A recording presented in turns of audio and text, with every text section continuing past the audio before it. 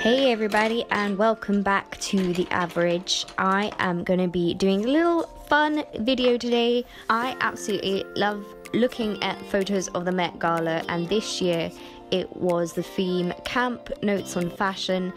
And I'm not going to pretend like I know a lot about what that theme means, but I know that it spans from from an essay by Susan Sontag that came out in 1964, and it's all kind of about exaggeration in fashion and kind of it's an aesthetic style and sensibility that regards something as appealing because of its bad taste and ironic value. Um, yeah, so I just read that off Google. So I guess you could look at it as kind of an individual style, including um, stuff that's about pantomime and cabaret and over the topness. And I think there's a really fun, cool theme and I just thought that what I would do is take inspiration from this year's Met Gala and draw some mermaids because it's Mermay and usually I, I kind of don't follow the rule of drawing a mermaid every day. Last year I did um, all the mermaids in one day so this year I thought I'd do a little bit different so I decided to just draw a bigger piece and take inspiration from a few people that I saw at the Met Gala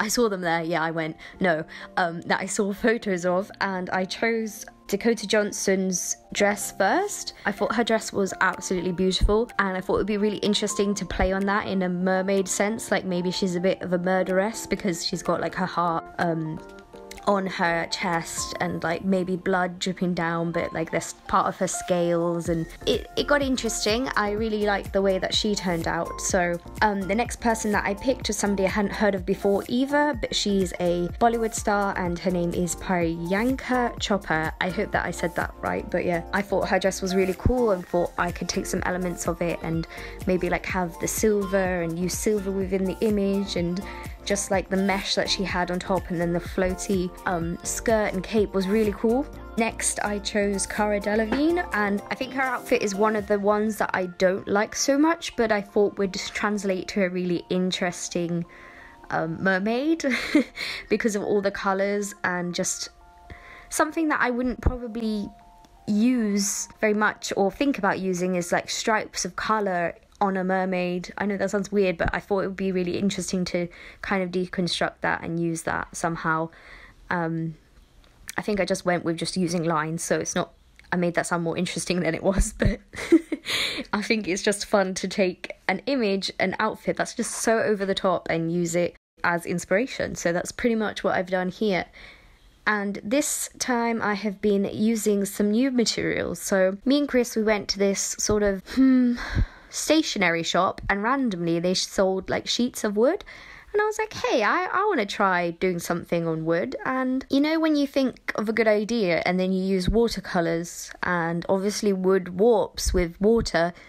So we kind of had some issues and we had some bleeding uh bleeding paint and stuff but i think i just kind of went with it because i i just kept going really and it worked out, I think, in the end. I tried to use different mixed media as I usually do. So I used some Posca pens, um, pencils. I think I, w- I was thinking about using gouache, but then I didn't in the end. But gouache would probably have been a much better material to have used on wood because it's not as, I mean, it can be used as watercolor because you can add water to it to make it more floaty, uh, or it can be used like acrylics where it's just like a solid, um, opaque color, which would have been handy because there was a lot of running, because of the, the grain of the wood, there was a lot of, uh, lines going from the water.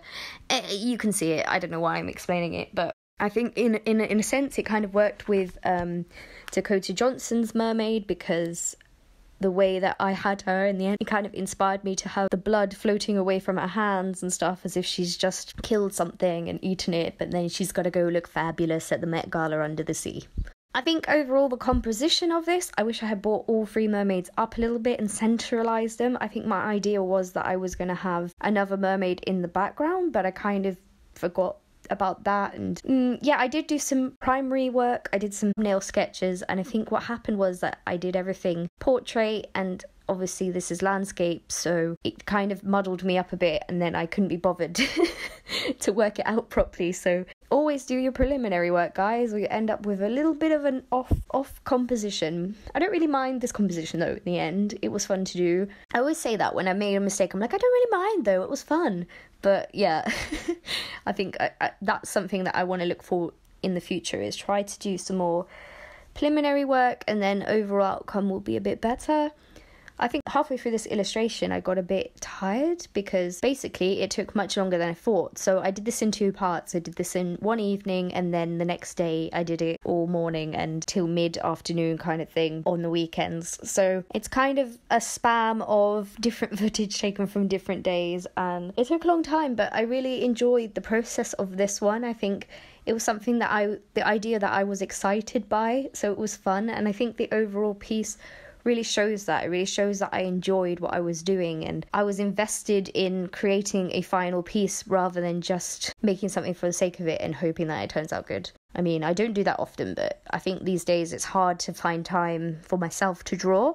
So when I do find it, I think like I have this intent to just make something perfect, but I think I'm trying to let go of that a little bit and do some studies in my spare time. And yeah, I think I'm trying I'm getting into the rhythm more is basically what I'm saying. I found I found where I need to be at and I'm really thinking positively towards my new goals and there's lots of goals ahead. I want to try and make another comic. I want to try and finish my book trilogy. I want to try and just get better at drawing in general and post more videos if it's possible it's just not enough hours in the day sometimes, you know what I mean?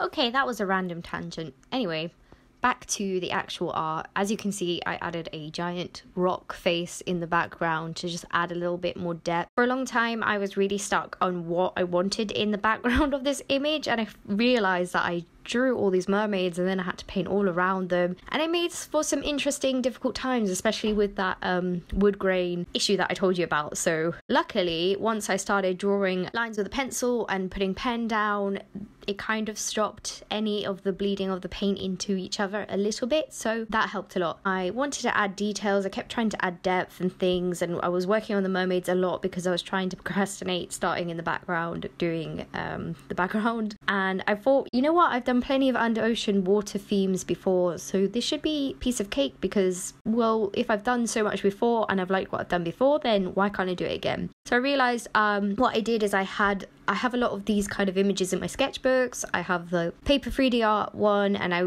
went and I just looked at what I had done before, and I looked at references online, and I used them to create the overall composition that is in the background, and I was really happy with it. I knew that what I wanted to do was have those um, sort of clouds of white, I don't even know what they are, like clouds of white floating water foam rising up as if to insinuate that the water is hot. Um, I wanted to have that coming through through the wood grain, but I thought it wouldn't ever work because of the way we did have that bleeding. So what I did was I used my white ink and I think that it was actually really effective the way that it turned out. And I'm really glad that I did that. Yeah, I think it's really cool. I added a lot of detail into the foreground and as it goes and as you go off into the distance you can see that the detail becomes less because objects further away are obviously less in focus so it gives that detail to the image overall. Another thing that i did do is i took the ink and i put them i put some ink next to each character and then smudged the ink as if it's some sort of blurry water effect around them and it helped highlight and bring the characters forward. And that was kind of a mistake because what i did I was trying to put bubbles all over the image because i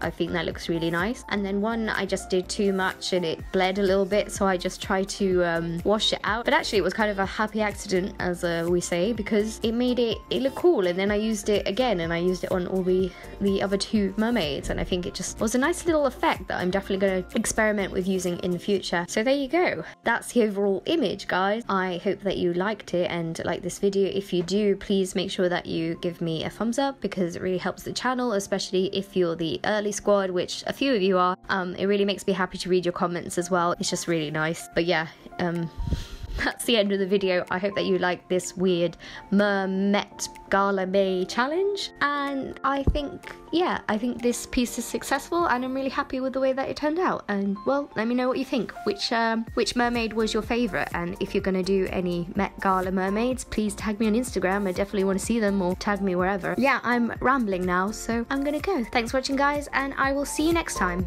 Bye!